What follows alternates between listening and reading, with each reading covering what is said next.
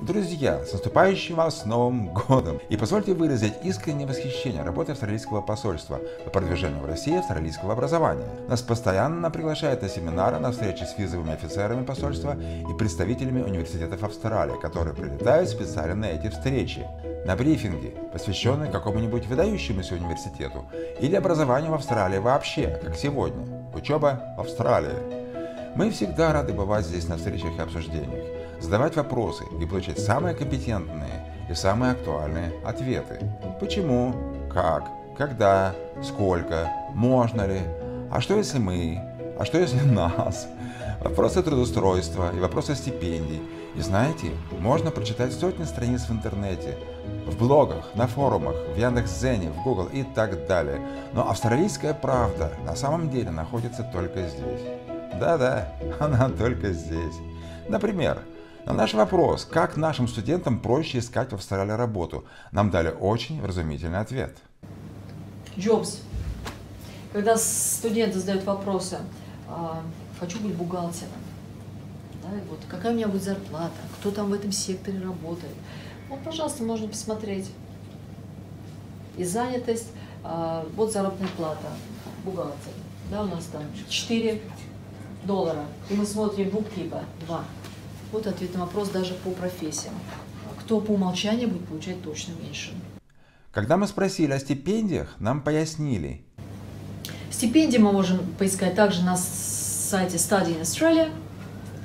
Он вас перекинут на другую платформу.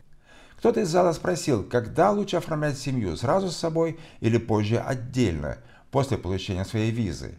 Им ответили... Сразу на всех. Если они не поедут, ну не поедут но чтобы они были сразу вот в одном заявлении.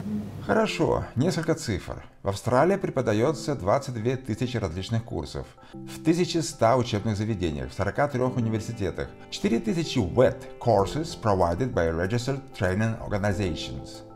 Английский язык изучается приблизительно в 300 колледжах. Дети учатся в тысячи начальных и средних школах. Более полумиллиона иностранных студентов из 190 стран учатся в Австралии, поэтому Австралия уверенно занимает третье место по образовательной популярности. И скоро она будет второй. А в самой же Австралии мы вам поможем выбрать ваш университет из 10 самых лучших австралийских университетов по QS World University Ranking на 2020 год. Все они государственные. Мы начнем с 10 и закончим первым. Итак, Countdown. Десятое место. The University of Newcastle, New South Wales, основан в 1965 году. Кампусы Уримба, Порт Маквойер, Сингапур и в Сиднее 37 тысяч студентов, сильнейшая медицинская школа. Девятое место.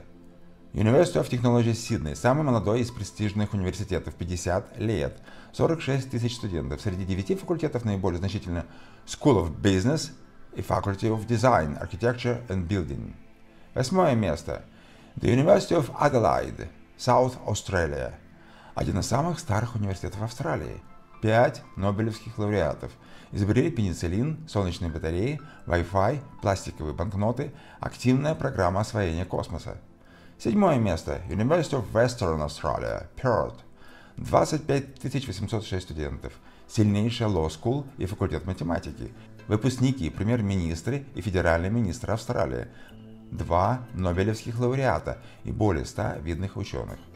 Шестое место – Monash University, Мелбурн. Восемь кампусов, включая Италию, Индию и Китай. 73 тысячи студентов. Сильнейшая научная академическая база в биомедицине. Более 100 научных центров. Пятое место – University of Queensland, Брисбен CPD. Два кампуса в США. 53 тысячи студентов. Сильнейшие школы в бизнес Administration, ветеринарной медицине, Life Sciences, Mining Engineering и Sport Science. Два Нобелевских лауреата. Четвертое место. University of New South Wales, Сидней. 62,5 тысячи студентов, сильнейший по финансовым и инженерным дисциплинам. Кампус Канберра располагается в Министерстве обороны. Программа международного обмена с двумя стами университетами мира. Третье место. University of Sydney. Первый австралийский университет, построен в 1850 году. 61 309 студентов, 9 факультетов – в пятерке самых employable в мире и первой в Австралии, пять нобелевских лауреатов, и его закончили семь австралийских премьер-министров. Второе место – University of Melbourne, Второй – Австралийский университет, построен в 1853 году. 52,5 тысячи студентов, сильная прикладная экономика, бизнес-скул, law-school, medical school. 10 нобелевских лауреатов и 4 выпускника премьер-министра Австралии. И первое место – Australian National University, Canberra, Australian Capital Territory – 20 892 студента. Высокий уровень трудоустройства, сильнейшая школа политики, международных отношений, социальной политики и географии. Среди выпускников 6 нобелевских лауреатов и 2 премьер-министра. Далее поговорим об этом университете подробнее, раз уж он стал победителем. Это особенный университет, единственный, созданный парламентом Австралии. Год основания 1946. Это также единственный университет с почти равным количеством undergraduate и postgraduate студентов – их примерно по 10 тысяч. Он состоит из семи колледжей, каждый из которых занят и обучением, и исследованиями. Это College of Arts and Social Sciences, история, философия, социология, политология, международные отношения, ближневосточные и латиноамериканские исследования, антропология, археология, классика, история искусств, английская литература, драма, кинематография, гендерные исследования, лингвистика, европейские языки, художественные и музыкальные факультеты. Также College Asia and the Pacific, College Business and Economics, College Engineering and Computer Science, College of Law, College Medicine, Biology and Environment, College Physical and Mathematical Sciences. Цены на обучение для иностранных студентов колеблются от 47 880 австралийских долларов в год. Познакомьтесь, пожалуйста, с системой австралийского образования, с чего все начинается и куда все ведет. Как вы видите, в левой колонке различные курсы английского языка. Без него в Австралии никак. Это английский для школьного обучения, для подготовки к экзамену IELTS и просто английский для личного применения. В средней колонке среднее профессиональное образование, так называемый WET – Vocational Education and Training – от сертификатов до advanced диплома, который, кстати, профессионально равен диплому бакалавра – и в правой колонке 12-летнее школьное образование и университет от бакалавра до докторской степени.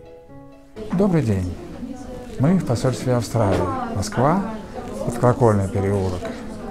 Брифинг «Учеба в Австралии». Мы искренне признательны организациям Australian Trade Investment Commission лично Наталье Коноваловой за блестящую организацию этого мероприятия.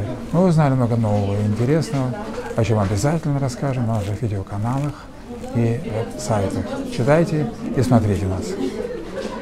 И не забудьте, что австралийское образование в редких случаях не приводит студента к желанию остаться в Австралии после обучения.